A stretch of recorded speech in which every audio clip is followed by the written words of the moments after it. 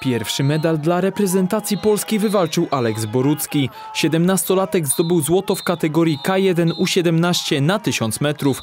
Borucki uzyskał przewagę, której do końca nie wypuścił. Taki był plan od początku wyścigu, żeby od samego początku trzymać resztę grupy za sobą, ewentualnie przy sobie i potem na finiszu już tylko pokazać to, że jestem zwycięzcą od samego początku. Złoto w turnieju nadziei olimpijskich to kolejny sukces Boruckiego w tym roku. Wcześniej triumfował na tym dystansie w Mistrzostwach Polski, a na Mistrzostwach Świata Juniorów zdobył trzy medale. Sezon jest niesamowity, na pewno zapadnie mi w pamięć na wiele lat. Pierwszy taki przełomowy, gdzie naprawdę mogę nawiązywać nawet ze starszymi od siebie juniorami o rok walkę na jedynce, która jest według mnie, według mnie najbardziej, wymagającą, najbardziej wymagającą konkurencją. Przed Boruckim jeszcze wiele startów w tych regatach, więc niezwykle istotna jest regeneracja.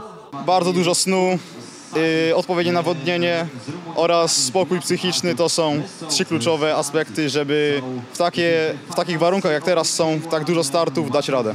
Z kolei srebrny medal na tym samym dystansie w kategorii U16 zdobył Mateusz Kubalski. Na Mistrzostwach Świata był brąz, tu jest srebro. Yy,